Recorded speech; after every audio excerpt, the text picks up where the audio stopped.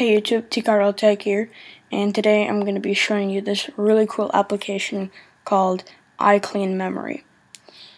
So as you can see up here, it has this little section in the menu bar that tells me how much RAM I'm using and how much I have free.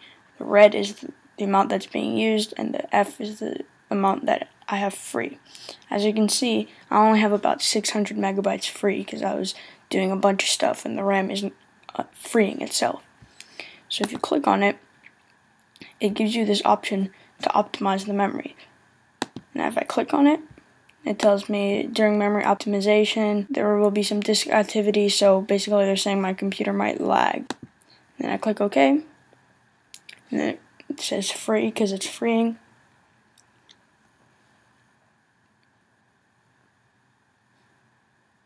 And now as you can see, I have 1300 megabytes of RAM.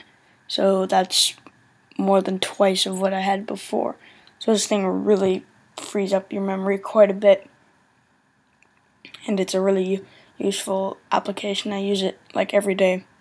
Um, it's available for 99 cents on the Mac App Store, which I think is completely worth it. Uh, it's in the top charts, it's gotten great reviews. So I would recommend buying it. Thanks for watching. Like, favorite, comment, and be sure to subscribe. Peace.